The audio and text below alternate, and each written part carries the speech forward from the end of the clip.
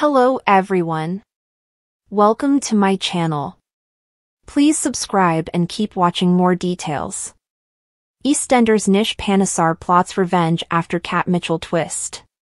EastEnders Nish Panesar will plot revenge on the 6th next week after Kat Mitchell rumbles his latest plan. Nish has begun an unexpected relationship with Kat in recent episodes, but has already revealed how his intentions towards her are far from honorable. Nish will seek an opportunity to get his hands on Kat's fortune in upcoming scenes as she pursues her divorce from Phil. Kat starts to worry about Raymond in the wake of everything that's happened with Denise, but Phil shuts down her concerns and tells her that his solicitor has started their divorce proceedings. When Kat overhears that Phil is buying the arches from Ben, she starts to suspect that Phil isn't being honest in the divorce as the business wasn't listed on his solicitor's letter. Nish seizes the opportunity to get his hands on some of the money and introduces Kat to dodgy divorce lawyer Roger Peel. This raises alarm bells with Kat, who later arrives back at number 41 to see Nish. Kat then has to fend off a shocking attack from Nish and runs to Stacey, Eve and Suki.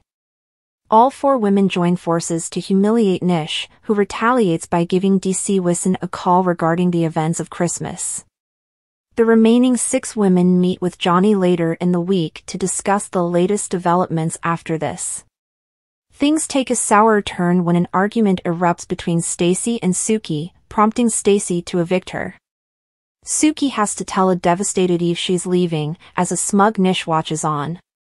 Vinny gives Suki food for thought on the situation, and she heads back to the Panesars to ask for a truce with Nish. Once again, Nish turns violent, but the wider Panesar family manage to arrive home in Suki's time of need. Has Nish finally pushed them too far? Discussing next week's episodes, Navin Chowdhry, who plays Nish, said, I think initially with Nish and Kat, there was a genuine attraction of two people in similar situations. There was a common ground over which they bonded genuinely.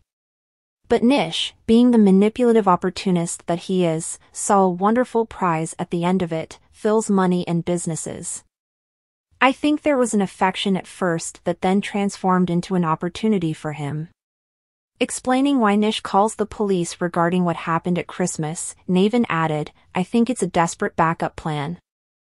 I think it was material he always thought he could use, but I don't think he ever felt he would have needed to. The plan was going so well, he was literally a signature away from acquiring 50% of Phil's assets and right at the 11th hour it's gone wrong, and so this is a desperate man. It's a man who is desperate and has to employ different tactics and this is one of the best cards he has to play right now.